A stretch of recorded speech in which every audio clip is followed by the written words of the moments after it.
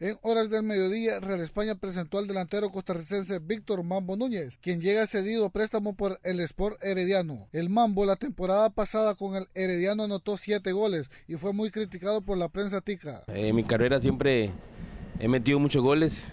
Eh, lo que prometo aquí es trabajo, esfuerzo, tratar de, llevar ese equipo a lo más alto de, del campeonato, ser campeones, trabajar para ello.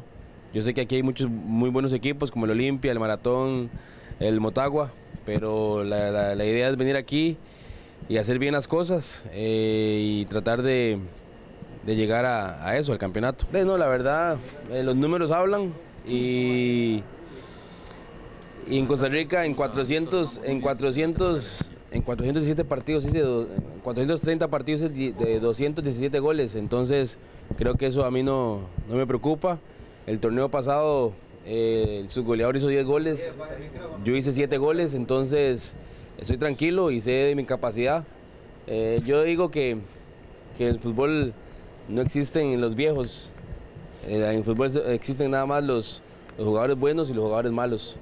Y creo que a 35, 36, 37 años todavía uno, uno puede dar un buen, un buen espectáculo y puede estar en un buen nivel. El Mambo Núñez se define como un jugador que sabe ubicarse bien en la cancha. Tengo buena ubicación, como te dije antes, y, y trato de, de, definir lo más rápido posible.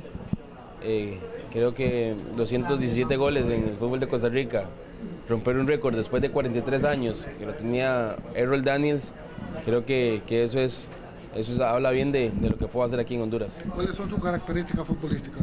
De no, eh, eh, buena definición creo que. El atacante Tico asegura que la selección de Honduras gana mucho con la contratación de Jorge Luis Pinto. Estuve a Pinto en, en la selección, eh, estuve los últimos ocho partidos antes de clasificar al Mundial de, de Brasil, estuve cuando, cuando clasificamos en Jamaica, vine a Honduras y siento que es un gran técnico, la verdad, Honduras va un paso adelante con, con Pinto sobre las demás selecciones y yo sé que, que con Pinto el fútbol de Honduras eh, va a mejorar mucho. Es un gran entrenador, eh, lo tuve ahora antes del, Mundial y Pinto eh, es un técnico ganador, un técnico que, que siempre apuesta a, sacar lo mejor de cada jugador y yo creo que, Honduras va un paso adelante con, con, eso. El delantero costarricense aseguró que no está listo para jugar los 90 minutos en el primer juego ante los Jaibos, pero que sí podría estar en un segundo tiempo. Para Deportes del 6, Alan Martínez.